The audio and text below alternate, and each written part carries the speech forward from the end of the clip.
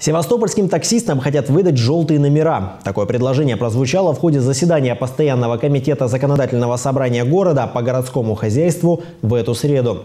Как заявляет председатель комиссии, депутат Илья Григорьевич Журавлев, севастопольцы все чаще обращаются с жалобами на нелегальных перевозчиков.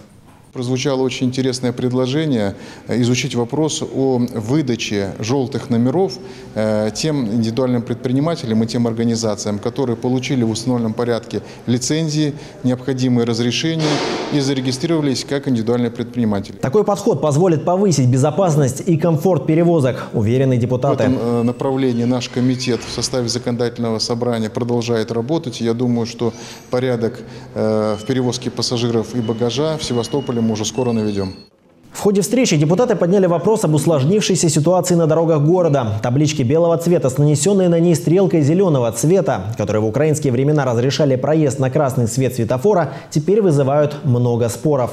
Данного знака нет в правилах дорожного движения Российской Федерации, а недавно установленные камеры видеофиксации нарушений правил дорожного движения могут стать причиной многочисленных штрафов. Заняться этим вопросом пообещали в ближайшее время. В части зеленых стрелок мы договорились э, начать работу по инспектированию этого вопроса, потому что все-таки зеленые стрелки помогают не, э, не осуществлять коллапс дорожный, вот, а люди все-таки поворачивают направо, э, освобождая место другим автотранспортным средствам. В этой связи мы поймем, сколько регулируемых перекрестков э, нуждаются в этих стрелках.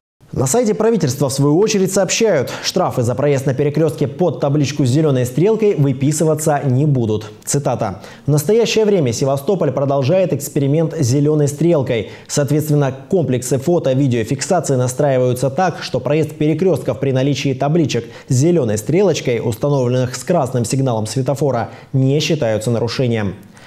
Информацию также подтвердили в управлении Министерства внутренних дел России по Севастополю. Программное обеспечение комплексов автоматизированной фиксации нарушений ПДД Российской Федерации настроено таким образом, что на перекрестках, на которых на светофорных объектах установлена зеленая контурная стрелка, разрешающая на постоянной основе, вне зависимости от фазы сигналов светофора, поворот направо, фиксация правонарушений производиться не будет.